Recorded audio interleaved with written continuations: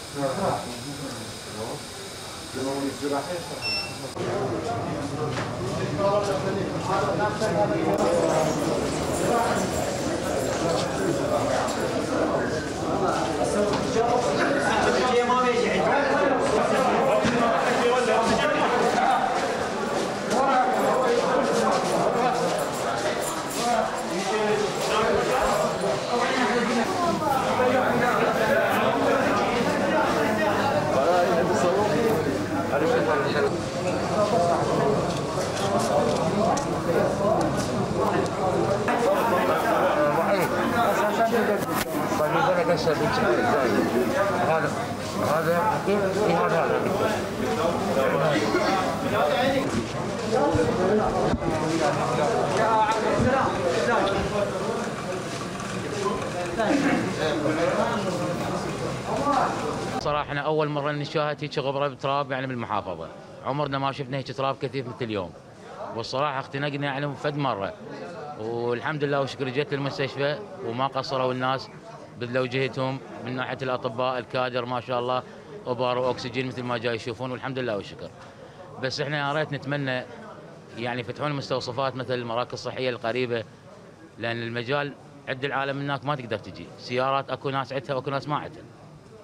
فهنا المستشفى بعيدة يعني أنا طريقي استغرق تقريبا ساعة وربع إلا وصلت فيا ريت الخدمات تصير بالمستوصفات والافراع طبعا المناطق اليوم تحتاج إلى تفريغ أجواء. لأن شفت اليوم من جينا المستشفى قبل وصلنا بسبب الازدحام بعض السيارات طالعة يعني مو لأي حاجة ولا حاجة ضرورية.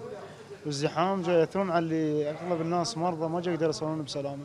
طبعا من جينا هم صار حادث قدام أغلب من حادث بسبب الزخم والناس اللي تطلع من دون أي حاجة. شفت التراب والزخم قوي. الحمد لله وصلنا هنا بالمستشفى اخذوا الاجراءات اللازمة الحمد لله. هسه احسن مستشفى الرمادي التعليمي العام وحدة الطوارئ.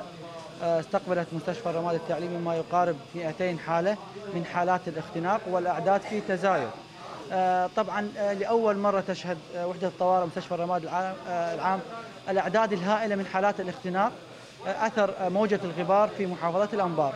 الحمد لله الكوادر الطبية المتمثلة برئاسة المستشفى والمقيمين الدوريين المقيمين الأقدمين والأخصائيين آه، تواجدوا جميعا في وحدة الطوارئ لإنقاذ واتخاذ الإجراءات آه، تجاه آه، الراقدين والح- والحالات وحالات الاختناق في مستشفى الرمادي التعليمي العام.